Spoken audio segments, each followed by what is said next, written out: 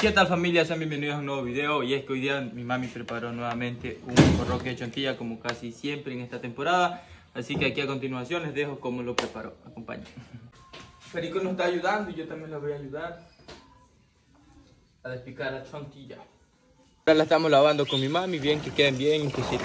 Yo mami la va a tirar. Hora de agregarla al agua caliente porque ahí se van a cocinar. ¿Por cuánto tiempo mami? Hasta cuando ya estén bien blanditas para que salga así todo el extractito bien chévere. Les cuento que ya, ya hirvió la, la como ven aquí el mami la está retirando de ahí. Casi me pierdo la, la, la majada porque estaba por allá y no estaba aquí, pero igual ya les muestro. Ya hirvió, hirvió como una hora, pero bien hervida. Y está bien cocinadita, solo lista para majar. Como les digo, hirvió como una hora y ya está blandita, vean, vean. Ya está lista para majar así, solo que quema, quema, quema, quema mucho. Creo que hay que dejarla que enfríe un poco porque está extremada caliente y yo le voy a ayudar este, un poco a mi mami aquí en lo que es la majada porque esto es duro. Como ya estaba lavando, yo le voy a, a majar porque tiene las manos frías y ya, pues frío y caliente les hace daño, por eso le duele una mano siempre más. Miren, este es el extracto que hemos sacado de esta semilla. Mi mami le agrega agua aquí y va así como que los escurre, los escurre y los va, los va poniendo ahí, miren.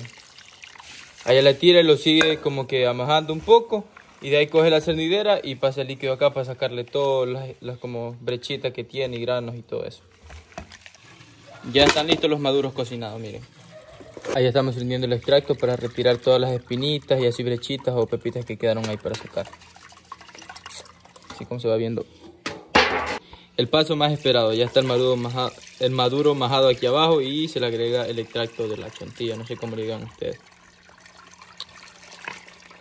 Y listo. Esa parte ahí es como para que saque todo el bagazo, cabazo, no sé cómo le digan, que está aquí. Esta parte ya no sirve. Lo de acá es que va a servir. A mezclar le pone azúcar, no. Aquí le pueden agregar azúcar al gusto, pero si a ustedes les gusta así nomás sin azúcar, pues también mejor queda con azúcar. Aquí llegó mi hermano de trabajar y ya pues venía al almuerzo, entonces le ofrecimos un traguito de borroque que lo recibirá, pero porque venía con mucha hambre y espero que le haya gustado muchísimo. No espero, yo sé que le gustó demasiado, sé que sí le gustó, mucho, mucho, mucho. De nuevo, quedó riquísimo. Con una mano.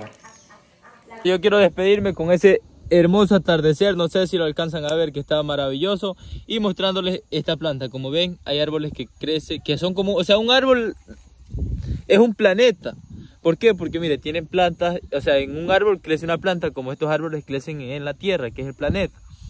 Entonces les quería mostrar esto que ven aquí, que es como un...